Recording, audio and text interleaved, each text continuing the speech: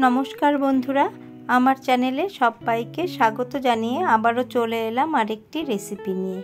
আজ করে দেখাবো বাঁধাকপি এবং সয়াবিন দিয়ে একটি সম্পূর্ণ নিরামিষ রেসিপি। এটা ভাত, রুটি, পরোটা সব কিছুর সাথেই খেতে খুবই ভালো লাগে। আপনারা নিরামিষ দিনে অনায়াসেই এটা বানিয়ে খেতে পারেন। আসুন দেখে নেওয়া যাক রেসিপিটি বানাতে আমার কি কি উপকরণ লাগবে।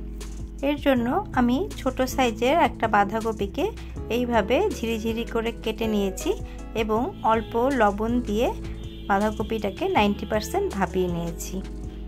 তো একটা আলুর খোসা ছাড়িয়ে টুমু করে কেটে নিয়েছি। তিনটে চেরা কাঁচা লঙ্কা নিয়ে নিয়েছি। এক মুঠো সয়াবিনকে প্রথমে আধা ঘণ্টা জলে ভিজিয়ে রেখেছিলাম। তারপরে ভালো করে সেদ্ধ করে জলটাকে ভালো করে চিপে নিয়েছি। এদিকে একটা মশলার পেস্ট তৈরি করব। নিয়ে নিয়েছি হাফ চা চামচ জিরে গুঁড়ো, হাফ চা চামচ আদা বাটা, হাফ চা চামচ ধনে গুঁড়ো, হাফ চা চামচ লঙ্কা গুঁড়ো এবং হাফ চা চামচ হলুদ গুঁড়ো।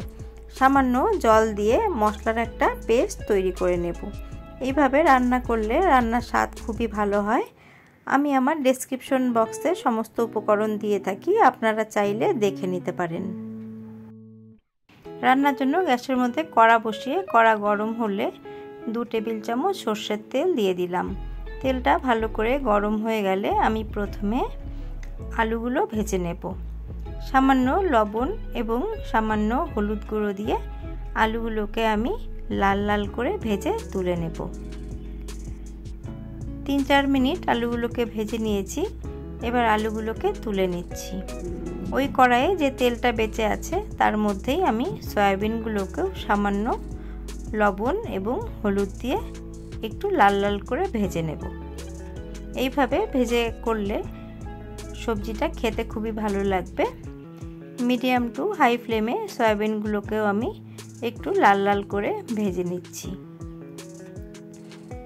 বন্ধুরা, আপনারাও বাড়িতে অবশ্যই একবার রেসিপিটা ট্রাই করে দেখতে পারেন।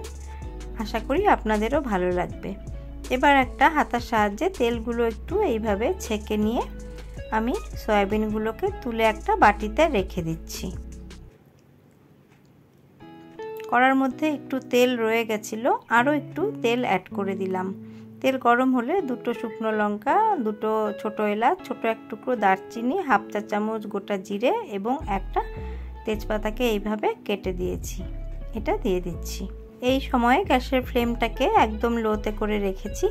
কয়েক সেকেন্ড ফোড়নটা ভালো করে ভেজে নিচ্ছি। মাচা থেকে সুন্দর গন্ধ বেরোতে শুরু করলে ছোট একটা টমেটো কুচি দিয়ে দিলাম। আরও মিনিট খানেক আমি টমেটোটাকে ভালো করে ভেজে নিলাম। তারপরে ভাপিয়ে রাখা বাঁধাকপিগুলো দিয়ে দিচ্ছি। বাঁধাকপিগুলো আমি ভাপিয়ে স্টেনারের মধ্যে দিয়ে জলটাকে ঝরিয়ে নিয়েছিলাম। আলু এবং টমেটোর সাথে ভালো করে বাঁধাকপিটাকে মিশিয়ে নিচ্ছি। এবার আমি যে গুলে রেখেছিলাম মশলা, সেই মশলাটা দিয়ে দিচ্ছি। দিয়ে ভালো করে বাঁধাকপির সাথে মিশিয়ে নিচ্ছি। তে রাখা আলুগুলো অ্যাড করে দিচ্ছি। আমি বাঁধাকপি ভাপানোর সময় সামান্য লবণ দিয়েছিলাম, সেই বুঝে লবণটা অ্যাড করলাম। আর দিয়ে দিচ্ছি হাফ চা চামচ চিনি। এবার সমস্তটা আমি খুব ভালো করে মিশিয়ে নিচ্ছি। এই সময় গ্যাসের ফ্লেমটা কিন্তু একদম লোতে করে রেখেছি। মশলার বাটির মধ্যে সামান্য একটু জল নিয়ে জলটা দিয়ে দিলাম। দিয়ে ভালো করে মিশিয়ে নিয়ে আমি বাঁধাকপিটাকে খুব ভালো করে কষে নেব। গ্যাসের ফ্লেমটাকে একদম লোতে করে পাঁচ থেকে ছ মিনিটের জন্য আমি রান্না করার জন্য রাখলাম। ছ মিনিট পর ঢাকা খুলে ভালো করে একবার নেড়ে চেড়ে নেব এবং চেক করে নেব আলুগুলো সেদ্ধ হলো কি না আলুটা আমি চেক করে নিয়েছি, দেখুন ভালো করে সেদ্ধ হয়ে গেছে। আলু সেদ্ধ হয়ে গেলে এর মধ্যে আমি ভেজে রাখা সয়াবিনগুলো দিয়ে দিলাম। দিয়ে আবারও খুব ভালো করে মিশিয়ে নিতে হবে। আমি চেক করেছি আর একটু মিষ্টি লাগবে, তাই আরও হাফ চামচের মতো চিনি আমি অ্যাড করে দিলাম। দিয়ে দিচ্ছি তিনটে চেরা কাঁচা লঙ্কা এবং হাফ কাপ গরম জল। এতে সয়াবিনটা নরম হয়ে যাবে এবং সবজিটা খুব মাখো মাখো হবে। ভালো করে সমস্তটা মিশিয়ে নিচ্ছি। গ্যাসের ফ্লেমটাকে আবারও লোতে করে দিয়ে আমি তিন থেকে চার মিনিট রান্না করে নেব। চার মিনিট পর ঢাকা খুলে ভালো করে নেড়ে নিচ্ছি। এই সময়ই নুন মিষ্টিটা চেক করে নিতে হবে। লাগলে এই সময় অ্যাড করে দিতে হবে। আমি চেক করে নিয়েছি, নুন মিষ্টি একদম ঠিক আছে। লো ফ্লেমে আরও মিনিট দুই আমি এইভাবে নাড়াচাড়া করে নিয়ে গ্যাসের ফ্লেমটাকে অফ করে দেব। শেষে হাফ চা চামচ ঘি দিয়ে দিচ্ছি। এই রেসিপিটাতে ঘিয়ের ব্যবহারটা অবশ্যই করবেন, এতে রেসিপির স্বাদটা কিন্তু খুবই ভালো হয়। আর দিয়ে দিচ্ছি ওয়ান ফোর চা চামচ গরম মশলার গুঁড়ো। আমি গরম মশলার গুঁড়োটা ঘরেই তৈরি করে নিয়েছি। ভালো করে সমস্তটা মিশিয়ে নিচ্ছি।